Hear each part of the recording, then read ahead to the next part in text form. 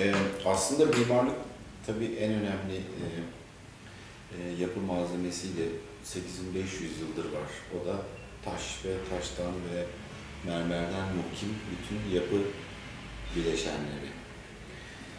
Duvarda duran e, Bodrum Halikarnassos e, mozolesi ve onun çevresindeki e, yapılar da çok uzun bir zamandan beri hala oradalar aslında. Biraz üstünde otu sanayi var onun. E, şu anda onları kaldırmaya çalışıyoruz. O bölgede e, çok sayıda hatta şehir var böyle e, inşa edilmiş ve bizde e, İstanbul tarafında e, birçok örnek var tabii ama en önemli örnek Ayasofya 1500 yaşında. Dolayısıyla taş kullanım, kullanıldığı zaman ve taşa benzer bir taşla beraber eden diğer ürünler kullanıldığı zaman aslında sürdürülebilir bir durumda yaratılmış oluyor esasında. En azından ömrü, ömrü uzun oluyor. Ee, tabii günümüz malzemelerinde e, bu kadar uzun ömürleri yakalamamız çok kolay olmuyor. E, bunun da sebepleri nedir acaba? Niye e, artık bazı kalıcı malzemeler yerine daha kısa ömürlü malzemeleri geçildi? Tabii ki endüstri, geçen yüzyılın, 20. yüzyılın e, meselesi. E, ikinci bir konuda e, inşaat sektöründe farklı bir e, inşaat ekonomisi var. Bu ekonomi esasında doğrusu yani inşaat ekonomisinden ziyade bildiğimiz her konuda hesap kitap yapan finans ekonomi, finans bakış açısının bir uzantısı. Aslında inşaatta bu tür ekonomi çok da kolay hemen o günkü maliyetleriyle ölçülebilir bir e, ürün ortaya koymuyor. Esasen inşaatın e, bir yapının diyelim bir projenin e, bir toplamında bir mimarinin e, bedeli aslında zamansız ve bedelsiz bir noktaya da ulaşabiliyor. Dolayısıyla bunun herhangi bir ekonomisi yok esasında. Tabi burada önemli olan e, inşaat e, ve e, kütlük yaşam arasındaki ilişkiyi yakalamak. E, bu yüzden de e, dikkat edilmesi gereken şey e, insanların e, ve bu, bu sektörde çalışan e, bütün e, e, görev olan ki bütün görev alanlarının e, sonuçta aslında hep beraber ileriye dönük e, düşünceler geliştirmesi. Yani mimaride e, çok tartıştığımız bir konudur ama bazen geçici olarak yapılan, inşa edilen şeyler bile yani herhangi bir yere taşınmak için belli bir ciddiyette ve kapasitede yapılmalı. O yüzden de bugün için yani kaça mal olduğunun hesabından ziyade yarın bize e, ne kadar bir zaman içerisinde hizmet edecek, e, belki yüzyılları geçecek, biraz önce bahsettiğimiz yapılar gibi. E, belki onlara yeni fonksiyonlar verilecek ve yeni dünyalar, yeni, yeni hayatlarında e, devam edecekler e, hizmet etmeye. O yüzden de mimaride hesap kitap herhangi bir ürünün e, ortaya çıkışındaki ön hesaplama veya daha sonraki durumuyla ilgili ilgili olmuyor. Nasıl bir e, endüstriyel ürün e, çok sayıda üretilirse e, verimliliğini ve karını arttırabiliyor. E, mimaride de tam tersine unik olmak diye bir durum var. Bir yapı e, ancak ne kadar uzun yıllar kullanılabilirse ekonomik oluyor. Dolayısıyla bu ters orantıyı e, aslında e, toplumsal e, ilişkilerimizde, mimari ve yapıyla ilgili ilişkilerimizde e, yerel yönetimler ve e, hükümetler e, bazında her zaman akılda tutmak lazım. O yüzden de yapılar için harcanan paralar yani lüks için e, harcanmış kısmından söylemiyorum. Gereklilik olan kısmından söylüyorum. E, yapıların hem e, ömrünü uzatmak anlamında hem de e, gelecek nesillere e, sağlam ve te, e, aynen yapıldığı gibi kullanılır bir şekilde bırakılması e, kapsamında her zaman e, önemli bir kıstas. Fakat bugünün e, yapı üretimi, mimari üretim, e, denetim mekanizmaları e, biraz bunların dışında hareket ettiği için işte şu anda mesela Türkiye'nin en büyük problemlerinden bir tanesi depreme dayanıksızlık. %70 oranında yapıyı yenilememiz lazım. Bunların da çoğu aslında çok uzun zamandan önce yapılmadı.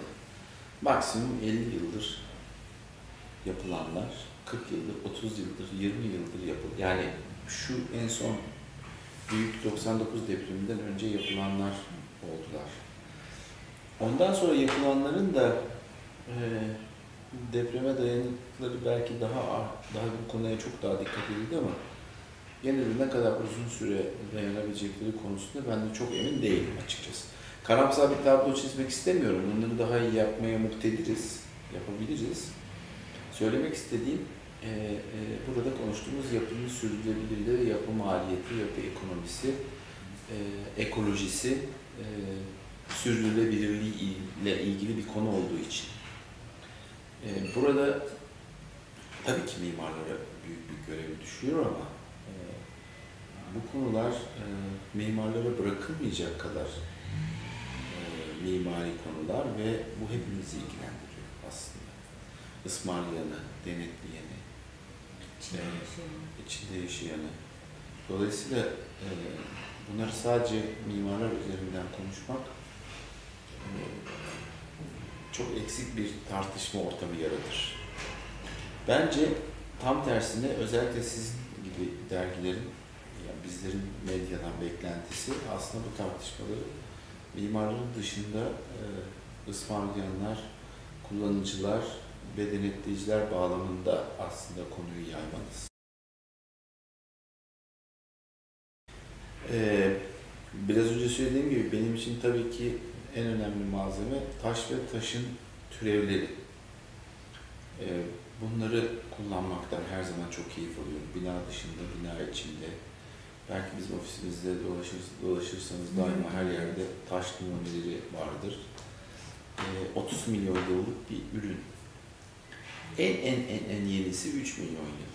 Dolayısıyla e, o kadar dayanıklı ve zaten hani doğanın kendisi ki ondan sonra diğer el yapımı ve e, endüstri yapımı her türlü ürün onunla bu kadar rekabet edebilecek durumda değil. Sadece taşıyıcı malzemeler bağlamında ki onun da tabii ana malzemesi demir ve çelik diyelim. Hı hı. Bazı katkı malzeme, malzemeleriyle tabii çok dayanıklı hale gelebiliyor. Taşıyıcı sistemlerde e, betonarme, çelik e, ve türevleri gibi malzemeleri kullanmayı seviyorum. Ahşap da sevdiğim bir malzeme ama yapılı projelerin e, şimdi konuştuğumuz taşıyıcı kısımlarıyla ilgili ya da cepheleriyle ilgili tabii projeden projeye değişir aslında. E, dolayısıyla küçük projelerde e, daha çok ahşap gündeme giriyor. Ama konular büyüdükçe daha dayanıklı, daha uzun ömürlü e, malzeme seçimlerine doğru hareket ediyoruz. Tabii ki cam kullanmayı da seviyorum. E, yerine göre. Ama birinci sıraya taş ve taş türevlerini koyarım. Yani en rahat ettiğim e, malzeme o.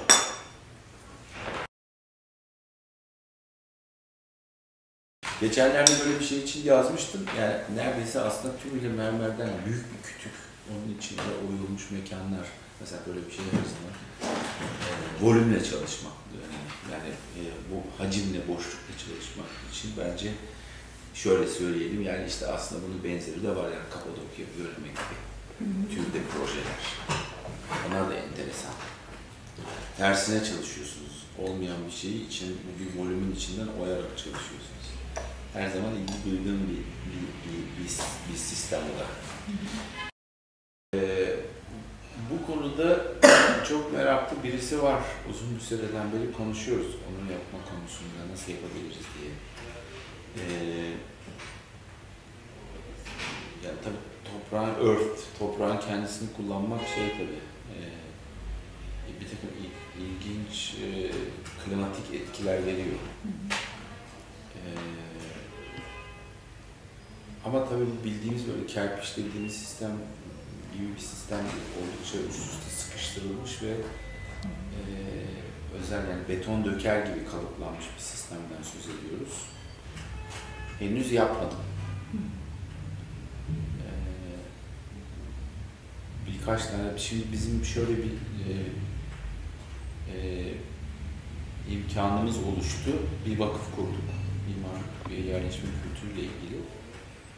E, bu vakıfta birkaç tane e, çalışma yapmak istiyoruz. Bunlardan bir tanesi laboratuvar çalışması. Geriye dönük malzemelerin e, bugün yeni durumlarıyla kullanılması kerpiç bunlardan bir tanesi. E, hafif sistemler, işte biraz önce konuştuğumuz gibi volümle çalışan sistemler. E, bir de aynı zamanda bütün bunların bir araya gelmesinden oluşan işte şehir dediğimiz kavramlar. Alparslan Ataman'la beraber bazı kitaplar üzerinde çalıştık. Onun arşivi üzerinden Al- Alparslan, Alparslan Ataman'ın hazırladığı bir ana e, beş tane de ondan yola çıkan, onun klozatlarından oluşan beş tane de kitap olacak. Aslında bu bir anlamda da bizim gelecek dönemlerde yapmak istediğimiz bir e, okul projemiz var. Yani mimar eğitimine yeni bir gözle bakmak istiyoruz. Onun da tedrisatı oluşmuş oldu bir anlamda. Yani o kitaplar aslında e, öğrencilerin eğitimlerinde kullanılacak olan tedrisatı oluşturdu. E, Birçok Türkiye'den ve yurt dışından hocalarımız da olacak bize katılan. E, ama 3 yıl kesinlikle bir klasik mimarlık üzerine bir eğitim olmasını düş. Benim idealim 3 yıl bu olsun. 3 yılda e, yeni sistemler, yeni teknolojiler üzerine hem simülasyon teknikleri olarak yani benim bu nasıl iyi ifade edilebilir hem de nasıl e, e, hayal ettiğimiz şeyleri gerçeğe dönük araçlar kullanarak e, işte software'ler, maketler, e, 3D printerlar, yeni yeni gelişmelerle nasıl bir e, noktaya getirebiliriz? Onun araştırmasını yapacaklar. Genelde liberate edeceğiz. Aslında bizim ofisimiz de böyle çalışır. Mümkün olduğunca e, benim her zaman kafamda bir şey vardır ama yeni şeyleri her projede mümkün olduğunca e, biz yeni hem kendi repertuarımıza hem mimarlık repertuarına nasıl bir şey katarız diye e, düşünerek hareket ediyoruz. Ama mimarlık şunu unutmamak lazım. E, geçmişten ders alır, geleceğe dönük şeyler düşünür ama bugün için inşa eder. Yani bütün bu düşündüklerinin hepsini bir projede yapmak her zaman mümkün olmaz. Biraz mali imkanlara, o, o zamanki teknolojiye, e, yani biz düşündüklerini yapabilen ofislerden bir tanesiyiz. Yapmayla ilgiliyiz tabii ama burada konuştuğumuz e, çok daha e, katmanları azaltılmış belki e, şimdi söz, sözle tarif etmek zor olur ama bütün bir araya bir araya gelişlerinden de çok geniş şehir örnekleri oluşturabileceğimiz bir e, durumdan söz ediyoruz. Mesela şu anda 100 bin kişilik bir şehir üstünde çalışıyoruz. Yani gene bizim G7 ofisimiz. E, Alparslan Ataman'la beraber ve gene yani vakıf, vakıf bu işin içerisinde yapımcı grup zaten yurt dışında bir, bir, bir konu bu. Şehir derken Bayağı bir şehir parçası yani 100 bin kişilik bir şehir. Ve önümüzdeki zamanlarda düşünüyoruz yani bir şehri, bir şehrin büyüklüğü ne olmalı? Şehirler belki belli bir büyüklükten sonra daha büyük olmamalı, birbirine bağlantı olarak başka bir noktaya geçmeli. Şimdi mesela e, dünyanın değişik kıtalarında bu anlamda değişik e, popülasyonlar, e, nüfuslar ve e, eğilimler var. E, Türkiye hem çok çok küçük, belki yani 45 haneli köyü de olan, işte İstanbul gibi e, etrafıyla toplasan 20 milyonluk bir yerleşmeye sahip olan mega e, kenti de olan bir yer. E, bunlardan nasıl dersler çıkarırız? Eskiden neydi? E, bu böyle mi devam etmeli? Nasıl formüller bulabiliriz?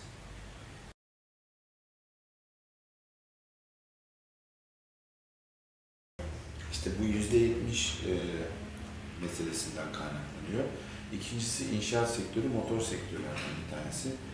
E, denetiminin çok iyi olmadığı bir sektör. O denetim e, olmadığı sürece işin kalitesi istenilen seviyeye çıkmıyor. Şu anda mimari tasarım anlamında ciddi bir e, kalitelenme söz konusu. Ama olay sadece bu değil. Yani bunu çok bir de şöyle bir şey var. Yani mesela Ataşehir gibi bir bölgeyi ele- ele alırsa e, o bölgede e, ciddi anlamda e, yerel yönetimler, hükümet ve özel sektör tarafından üretilmiş TOKİ'nin TOKİ'den biraz hallice bir yatakhane bölgesi. E, nerede sinema gidilir? Nerede yani bir operadan geçelim, işte nerede tiyatroya gidilir, nerede e, bir e, etkinlik alanı olarak kullanılır, nerede hatta yürüyerek bir yerden bir yere gidebilirsiniz. Arabanız olmadığı zaman o bölgede hareket etmeniz çok zor. Oysa şimdi bizim burada işte bu bölgede ofisinde olduğu bu bölgeyi Eskişehir parçalarından bir tanesi burada hiç kimse e, arabayla gitmek için can atmıyor veya burada yürüyerek. Neden? Çünkü burada yürüyerek trafik sık- sıkışık da olsa e, alışveriş yaparak, vitrinlere bakarak, insanları görerek, bir kafede oturarak, bir kahvede e, e, bir toplantı içinde de bir doktor randevusu için vakit geçirerek e, burada günlük hayatın içerisinde kendinize ait bir, bir zevk alanı çıkarabilirsiniz. Ama Ataşehir'de böyle şeyleri oluşturmak çok zor.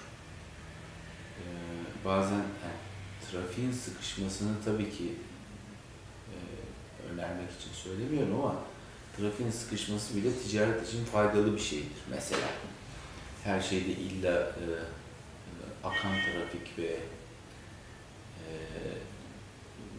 her şeyin çok yüzde yüz mükemmel çözüldüğü anlamına gelmez. Şehir biraz antidemokratik bir yerdir. O çeşitliliğinden zevk alır zaten. Roma'da eski bir şehirdir. Kaldırım da yoktur bazı yerlerde. İzmir'de kaldırım da olması gerek.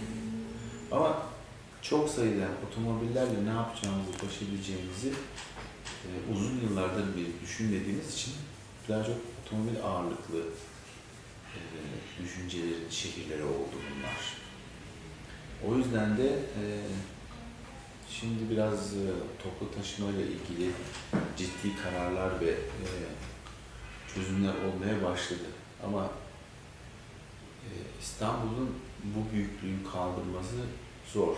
Yani İstanbul'un biraz diyete ihtiyacı var. E, başka şehirler cazip hale geldikçe, benim söylediğim alternatif şehirler cazip hale geldikçe İstanbul gibi şehirler nefes alacak. Her şeyin İstanbul'da olduğu durum da yavaş yavaş ortadan kalkıyor.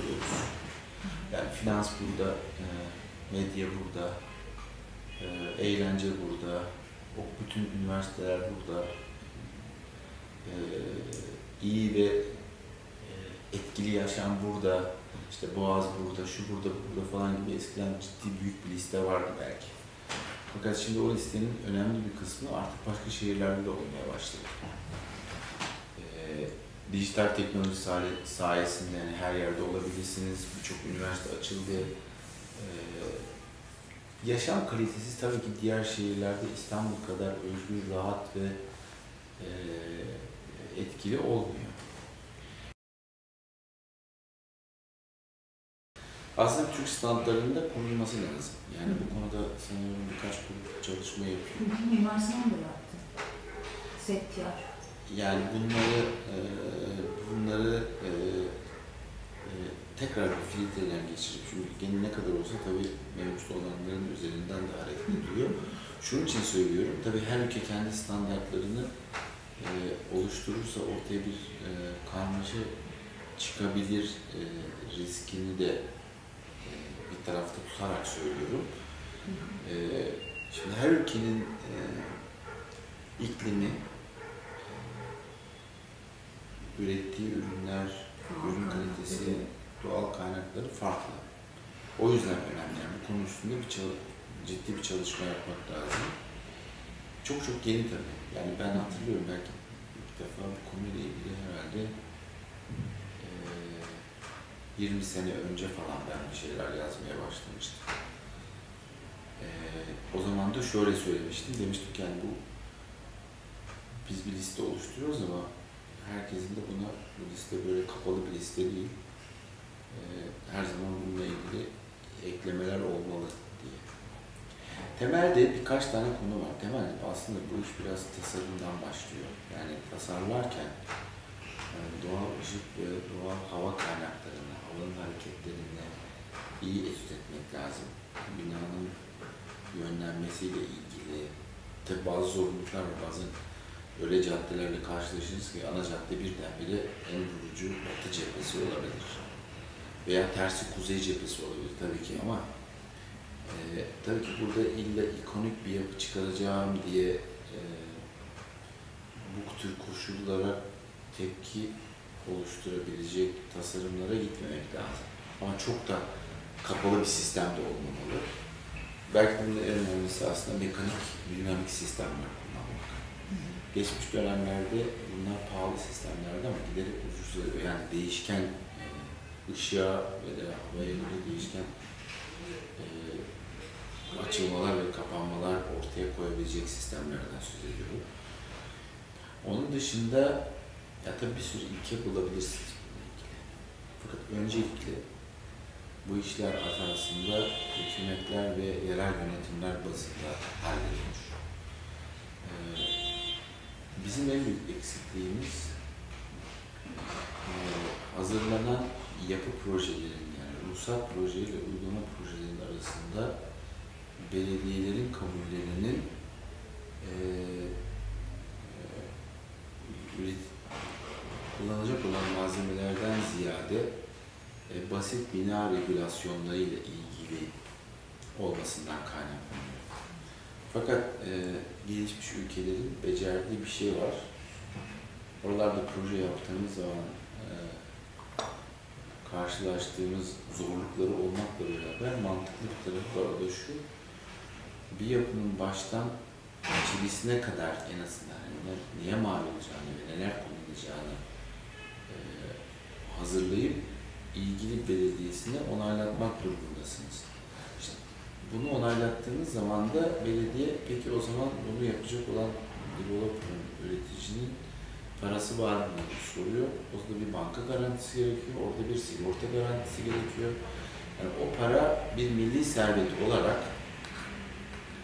eee milli servet olarak eee, bir kere zaten korunma altına. Bu korumalar olurken orada sert, bu sertifikasyonları, bu bu filtrasyonları diyeyim yani ekolojik anlamda filtrasyonları yapmak kolaylaşıyor. Öbür türlü bu iş belediye, yani bu birinci elde yani bu anlamda kontrol edilmediği zaman e, mimarın, işte üreticinin e, kültürüne, e, şahsiyetine ya da e, beğenisine kalan kalmış oluyor. Orada büyük ciddi bir eksik ol, eksiklik oluyor. Bunu zorunlu haline getirmeye çalışınca da bizde insanlar inanmadan yani o ruhsatı almak üzere bunu yapıyorlar. Bu toplumsal bilincin oluşması için bence işin finans kısmının yani o sigorta kısmı. Mesela belli bir oranda bir şey olmadığı zaman onu daha inşaat sigortasını e, e, mim- mimarın e, mi- mimarlık sigortası diyelim sigortasını ve de işte daha sonra satış aşamasında müşterilerin bakarken alacakları bir takım e, belgelerin eksikliğine yol açacak e, e, ne diyelim hani e, onaylamamasını yani daha o anlamda or- orada çözmek lazım.